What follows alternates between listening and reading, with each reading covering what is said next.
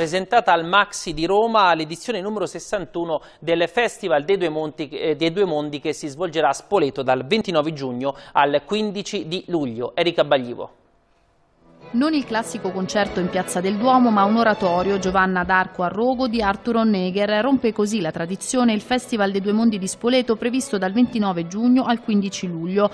Tante le novità annunciate dal direttore artistico Giorgio Ferrara che fanno intuire la volontà di un cambio di passo per un festival che dopo anni di affanno è tornato ad essere un evento di prim'ordine, una realtà globale, come ha detto lo stesso Ferrara, che tende ad includere mai ad escludere, riferendosi sia ai molti paesi accolti sia al pubblico pubblico sia agli artisti.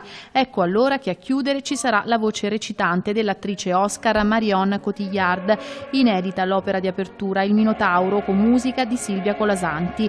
Il festival si apre al pop di qualità con il concerto previsto il 7 luglio di Francesco De Gregori e sostiene il lirico sperimentale che porterà anche qui lo spettacolo Cenerentola insieme.